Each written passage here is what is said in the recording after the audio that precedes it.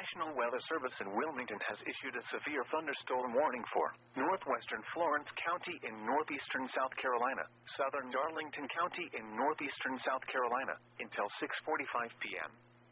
At 5:54 p.m., severe thunderstorms were located along a line extending from 8 miles west of Bishopville to Swift Creek, moving southeast at 35 miles per hour. Hazard, 60 miles per hour wind gusts and quarter-size hail. Source, radar indicated. Impact, minor hail damage to vehicles is possible. Expect wind damage to trees and power lines. Severe thunderstorms will be near Darlington, Darlington Raceway, and Oates around 6 p.m.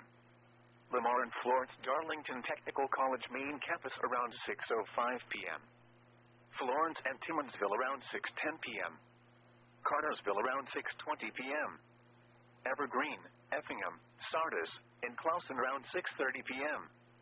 Other locations impacted by these severe thunderstorms include Carolinas Hospital System, McLeod Regional Medical Center, Carolinas Hospital System, Cedar Tower, and Health South Rehabilitation Hospital. For your protection, move to an interior room on the lowest floor of a building. Please send your reports of hail and slash or wind damage, including trees or large limbs downed, by calling the National Weather Service office in Wilmington at 1-800-697-3901.